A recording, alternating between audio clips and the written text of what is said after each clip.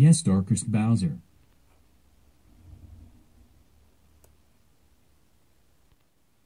No Darkest Bowser. He's a bad dark version of Darker Bowser. That's it. You're extremely grounded. Go to your room right now. Va.